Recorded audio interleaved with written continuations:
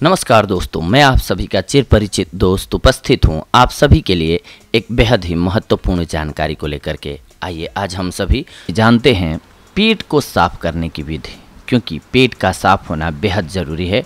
पेट अगर हमारा क्लीन नहीं होता है, साफ़ नहीं होता है तो हमें बहुत सारी प्रॉब्लम्स का सामना करना पड़ता है, जिसे हम कब्ज भी बोलते हैं। तो आज हम बताएँगे सबसे पहले आपको कि कब्ज होता क्या है, इसके होने के कारण क्या हैं, और साथ में इसका निवारण क्या है? यानी कि इसका इलाज क्या है? क्योंकि पेट से हमारे शरीर को मैक्सिमम बीमारियाँ होती हैं, अगर हमारा पेट खराब होता है तो। लगभग हर कोई अपनी लाइफ में कभी ना कभी पेट साफ़ न होने, यानी कि कब्ज की बीमारी का सामना करता ही है। ज़्यादातर मामलों में ये समस्या कुछ ही दिनों में ठीक हो जाती है, पर बहुत से लोग सालों तक इसकी वजह से परेशान रहते हैं। आज हम आपको कब्ज की परेशानी दूर करने के कुछ एक बड़े ही आसान उपाय बताएँगे, जिन्हें अपनाकर आप इस समस्या से हमेशा के लिए छुटकारा पा सकते हैं। आइए सबसे पहले तो हम जानते हैं कि कब्ज होता क्या है। कब्ज ऐसी स्थिति है जिसमें व्यक्ति का पेट ठीक से साफ़ नहीं होता है और मल त्याग करते समय कष्ट भी होता है। कब्ज से पीड़ित व्यक्ति आम लोगों की तुलना में कम बार शौच करता है, जहाँ आमतौर पर लोग दिन में कम से कम एक बार शौच करते हैं। वहीं कॉन्स्टिपेशन का मरीज़ तीन या उससे भी ज़्यादा दिनों तक मल त्याग नहीं कर पाता है। इस कारण से उसका पेट भारी भारी रहता है और भोजन में भी अरुचि होती है उसकी। कब्ज के कारण कुछ लोगों को उल्टी भी हो जाती है और सर में दर्द भी बना रहता है। अब हम सबसे बड़ी समस्या आती है बहुत सारे लोगों को कि पहचान में नहीं आता है उनको कि हमें कब्ज हो गई है। इसके हम लक्षण आपको बता रहे हैं, जिसके सहारे आप जान सकते हैं कि आप कब्ज के गिरफ्त में आ गए हैं। ठीक से अगर आपका मल त्याग ना हो रहा हो, या फिर लेटरिन जाते वक्त आपका पेट साफ़ ना हो रहा हो, मल साफ़ ना हो रहा हो तो आप समझिए कि आप कब्ज के शिकार हो चुके हैं। मल त्याग करने में तकलीफ़ होना, स्टूल यानी कि टट्टी या मल जो बोलते हैं, इसका बहुत हार्ड और कम मात्रा में होना बार बार ऐसा लगना कि अभी थोड़ा और मल त्याग करना चाहिए। यानी कि आप मल त्याग करने बैठे हों, फिर भी आपको संतुष्टि न हो, लगे कि आपको लगा हुआ ही है लेटरिन। इसका एक मुख्य लक्षण होता है पेट में सूजन या फिर दर्द का होना, इसके साथ साथ उल्टी होना। अब आइए हम सभी जानते हैं कि कब्ज होने के कारण क्या क्या हैं। क्यों होता है कब्ज? भोजन ग्रहण करने में अनियमितता, यानी कि आपका कोई टाइम टेबल ना हो फिक्स। कि आप कब खाना खाएँगे? जब मिला खा लिया, फिर नहीं खाया तो फिर ये प्रॉब्लम होती है। इसके अलावा बासी भोजन करना, अति विश्राम, कम शारीरिक श्रम, मानसिक तनाव, यानी कि टेंशन का होना, अधिक चिकनाई वाला भोजन करना, आंतों की कमज़ोरी, यानी कि आपकी आंतें कमज़ोर हैं तो भी ये समस्या आपको हो सकती है। कम पानी का पीना, धूम्रपान, या फिर कैफीन द्रव्यों का सेवन करना खाना खाते समय अधिक जल ग्रहण करना, स्वभाव में अधिक उग्रता हो, या फिर गरम मसाले वाले तथा अधिक तैलीय खाना खाना भी इसका एक मुख्य कारण होता है। तो सबसे पहला जो इस मामले में कदम उठाना चाहिए, वो ये, आप सोच रहे होंगे कि ये तो हमें भी पता है कि हमें कब्ज़ हो गई है, फिर ये क्यों बता रहे हैं? ये हमारा बताने का पर्पस ये है कि आप सबसे पहले इन कारणों को बंद करें। सबसे पहले तो कारणों को ढूंढें कि हमें कब्ज़ हो क्यों रहा है। सबसे पहले उन कारणों को बंद करें। अपने दैनिक रूटीन को सुदृढ़ करें, सुचारू करें, सही करें ताकि आपको प्रॉब्लम ना हो। अदरवाइज़ आप दवाएँ खाएँगे, लेकिन आपकी आदतें जो हैं वो ख़राब रहेंगी तो आपको कोई फ़ायदा नहीं होने वाला है। इसीलिए लक्षण के साथ साथ हमने कारण बताया आपको कि इसके कारण क्या क्या हैं। इन कारणों को जानना है आपको इसलिए क्योंकि इन्हें आपको दूर करना है ताकि कब्ज आसानी से आपका दूर हो सके। अब आइए हम सभी जानते हैं कब्ज को दूर करने के घरेलू एवं आयुर्वेदिक उपाय। हम आपको एक चीज़ से नहीं, बहुत सारी ऐसी चीज़ें बता रहे हैं जिनके सहारे आप अपने कब्ज को दूर कर सकते हैं। बहुत सारी, चाहे तो हम कम चीज़ों में भी बता सकते हैं, लेकिन बहुत सारी चीज़ों को बताने का मेरा मतलब ये है कि बहुत सारे लोग होते हैं जिनके पास सारी सामग्रियाँ उपलब्ध नहीं होती हैं तो वो अल्टरनेट पर जा सकें। यानी कि उनके पास जो उपलब्ध है, उसके सहारे वो अपने आप को स्वस्थ रख सकें। सबसे पहली बात होती है कि जब भी आपके शरीर में पानी या फिर तैलीय पदार्थों की, तैलीय से मेरा मतलब है कि ऑयल नहीं, चिकनाहट की कमी होती है, रूखापन हो जाता है आंतों में तो फिर उसमें मल आपका फंस जाता है, जिसकी वजह से मल त्यागने में आपको तकलीफ़ होती है। आइए अब ध्यान देते हैं कुछ एक औषधियों पर, जो कि कब्ज़ को दूर करने में सहायक होती हैं। सबसे पहले तो त्रिफला चूर्ण। त्रिफला चूर्ण में जानना बेहद ज़रूरी है आप सभी के लिए कि होता क्या है। त्रिफला चूर्ण किन किन चीज़ों का मिश्रण है? ये हरड़, बहेड़ा और आंवला। इन तीनों चीज़ों के मिश्रण को हम त्रिफला चूर्ण बोलते हैं। वैसे तो बहुत बार आपने सुना होगा कि त्रिफला चूर्ण लेना चाहिए। लेकिन ये जानना बेहद ज़रूरी है कि इसमें क्या क्या चीज़ें मिक्स होती हैं। हरड़ बहेड़ा एंड आंवला। अब करना क्या है आपको कि त्रिफला चूर्ण को चम्मच में हल्के गर्म पानी से घोल लीजिए। एक चम्मच ले लीजिए या फिर डेढ़ चम्मच आप ले सकते हैं। गुनगुने पानी में इसको घोल लीजिए और घोल करके हर रोज़ इसको रात्रि में सोने से पहले पी लीजिए। कब्ज की शिकायत आपको रहती है तो इसमें आपको तुरंत लाभ मिलेगा। कुछ ही दिनों में आप देखेंगे कि आपके कब्ज की समस्या जो है, वो दूर होने लगी। इसके अलावा बहुत सारे लोगों को हो सकता है कि पानी के साथ न लिया जाए तो वो लोग थोड़े से गर्म दूध में भी ले सकते हैं। यही चूर्ण। लेकिन ध्यान रखें कि जब इस चूर्ण को रात को लें तो दूध में चीनी ना मिलाएँ, बिल्कुल भी ना चीनी मिलाएँ, गुड़ मिक्स करें। अगर आपको मीठा लेना ही है तो आप गुड़ मिक्स कर लें। ये आपके लिए फ़ायदेमंद होगा। कब्ज की तकलीफ़ दूर करने के लिए इसके अलावा आप मुनक्का ले सकते हैं। मुनक्के को कैसे लेना है? आठ से दस मुनक्का लीजिए, गर्म दूध में उबाल लीजिए इसको, फिर उसको ठंडा होने दीजिए और हर रोज़ उसका सेवन कीजिए, आपको राहत मिलेगी, मल त्यागने में सरलता होगी। इसके साथ साथ कुछ एक चीज़ें ऐसी हैं जो कि खाने में अपने ज़रूर शामिल करनी चाहिए, जैसे कि पपीता पेट साफ़ करने के लिए बेहद लाभकारी होता है। इसमें जो गुण पाए जाते हैं, वो पेट को साफ़ करने के लिए बेहद ही ज़रूरी होते हैं। तो आप जितना ज़्यादा से ज़्यादा हो सके, जब पेट खास करके ख़राब हो जाए तो गरिष्ठ भोजन ना करें और पपीते का सेवन स्टार्ट कर दें, आपका पेट क्लीन हो जाएगा। इसके अलावा सेव तथा अंगूर खाने से भी पेट साफ़ हो जाता है। सेव का जूस काफ़ी उपयोगी होता है इसमें। सेव का जूस पीने से आंतों की अंदरूनी सतह पर बदबू और संक्रमण नाशक परत का सृजन हो जाता है और सेव का नित्य सेवन अन्य कई बीमारियों से रक्षण प्रदान भी करता है आपको। हाँ अगर आपको कॉन्स्टिपेशन तत्कालिक हो गया है तो उस कंडीशन में तो आपको हमने बताया कि पपीता लीजिए, लेकिन इसके अलावा अगर आप एक सेव रोज खाते हैं तो ये आपके लिए बेहद लाभकारी साबित होगा। इसके अलावा आंवले का चूर्ण कब्ज को जड़ से मिटा देता है। आंवला का चूर्ण रात्रि में सोने से पहले अति गुणकारी होता है लेना। इसलिए रात को सोने से पहले आप केवल आंवले का चूर्ण भी ले सकते हैं। आंवला कई तरह से ग्रहण किया जा सकता है। आप इसका जूस पी सकते हैं। आंवले को सुखा कर चूर्ण बना करके लिया जा सकता है। या फिर आंवले की चटनी बना करके भी आप खा सकते हैं।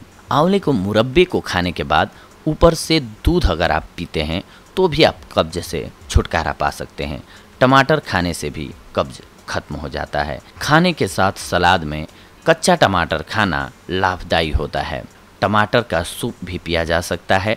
टमाटर जिद्दी आंतों में जमे हुए पुराने मल को साफ़ करने का सटीक उपाय है। बैंगन की सब्ज़ी, चौलाई की सब्ज़ी, पालक की सब्ज़ी, आम, चने, दूध और शहद का मिश्रण मल त्याग वृत्ति को सरल बनाता है। आम का रस निकाल कर पीना उत्तम होता है और उसके ऊपर हल्का गर्म दूध भी आप पी लें तो ज़्यादा बेहतर होता है। या फिर, तांबे के बर्तन में एक चुटकी नमक डालकर पानी रात भर ढक करके रख दीजिए और सुबह में उस पानी को पीजिए। कब्ज में आपको राहत मिल जाएगी। हल्के गर्म गुनगुने पानी में चुटकी भर नमक मिलाकर सोने से पहले पीने से भी आंतें साफ़ रहती हैं और अशुद्ध जमा हुआ मल शौच के समय आसानी से निकल जाता है। एक चम्मच अरंडी के तेल में जीभ पर नमक लगाकर रात को पी जाइए। निगल जाने से मल साफ़ आता है।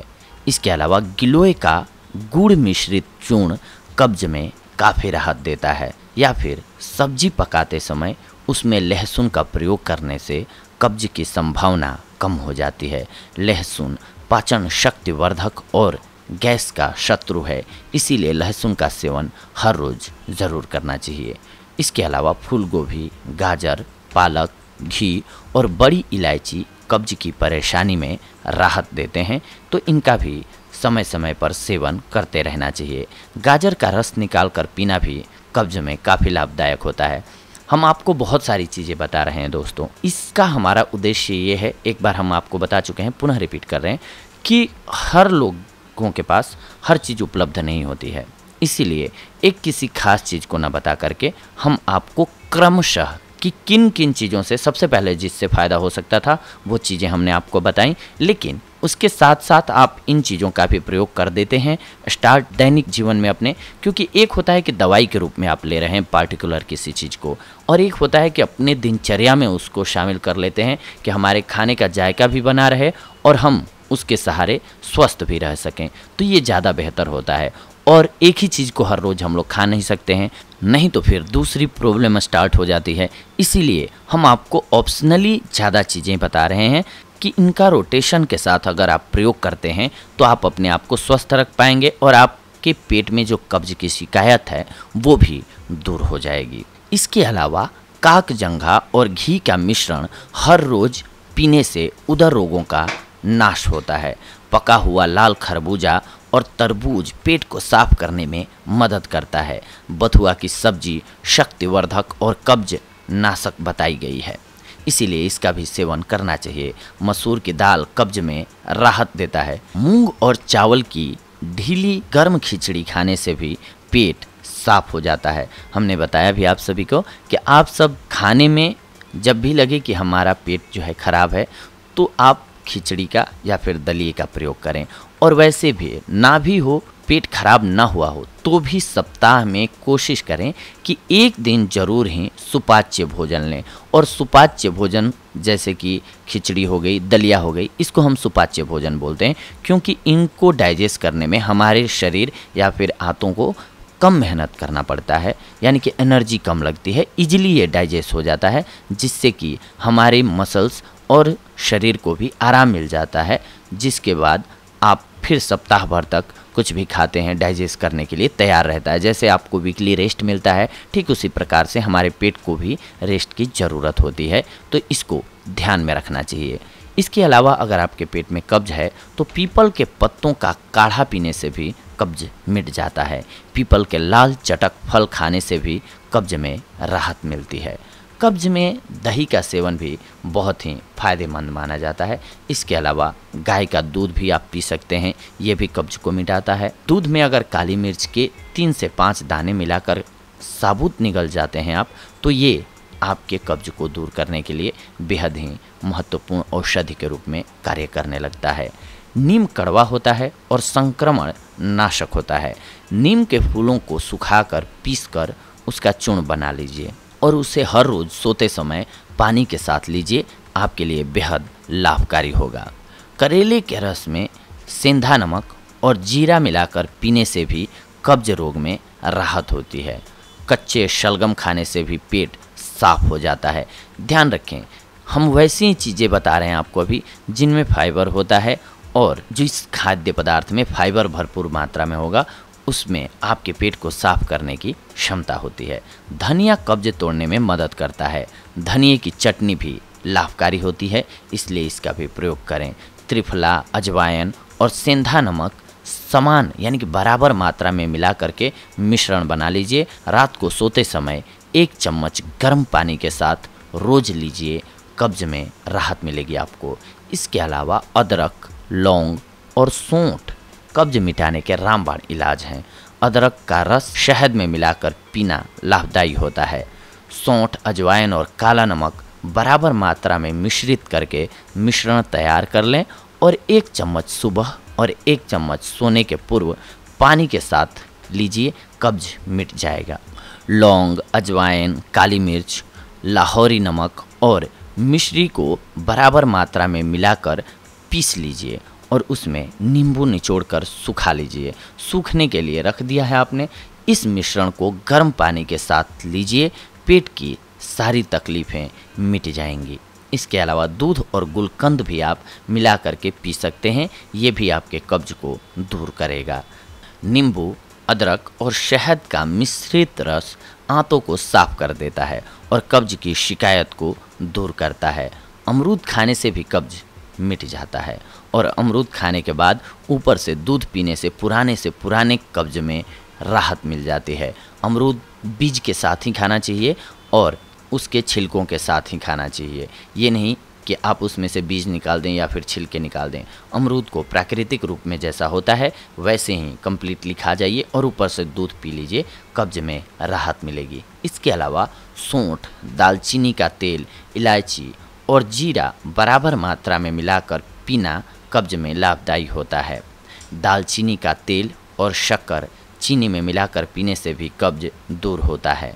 यह चूर्ण अजीर्ण की तकलीफ़ में राहत देता है।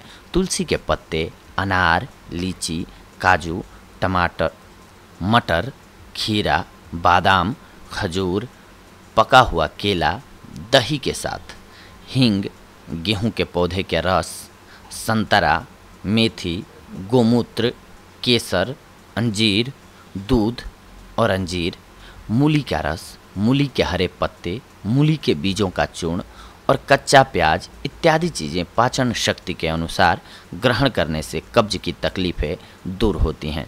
अब एक बार मैं आपको बताना चाहूँगा कि इतनी सारी जो चीज़ें हमने बताई हैं, वो इसलिए बताई हैं ताकि समय के साथ क्या होता है कि आप सर्दियों में बहुत ज़्यादा ठंडी चीज़ों का जैसे सेवन करने लगे तो आपको प्रॉब्लम होगी।